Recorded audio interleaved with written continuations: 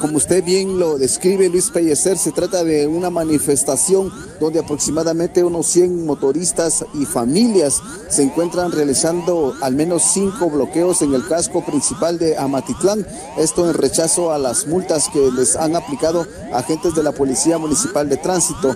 Resulta de que en días anteriores los uniformados habían indicado a los mototaxistas que deben de tomar en cuenta pues que no pueden hacer traslados en las motocicletas sin tener algún permiso establecido y les indicaron que les pondrían multas.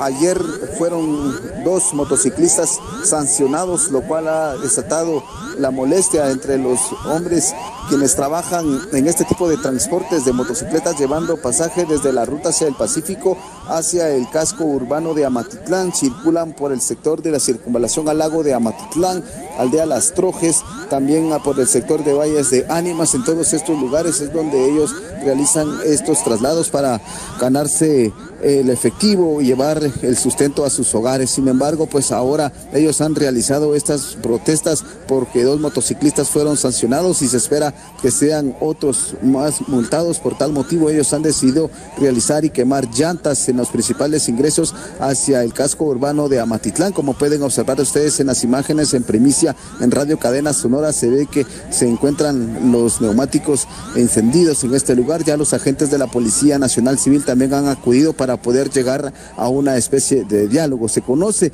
en este preciso momento que sí habrá un diálogo una plática. Ya las personas se enfilarán hacia la municipalidad donde se espera tener una plática con las autoridades encargadas de la municipalidad de Amatitlán. También se conoce que bomberos voluntarios de la 29 compañías se mantienen en calidad de prevención ante cualquier situación. Es lo que se vive en aquel sector por esta protesta. Con inmediatez de la radio Sonora la única con cobertura nacional.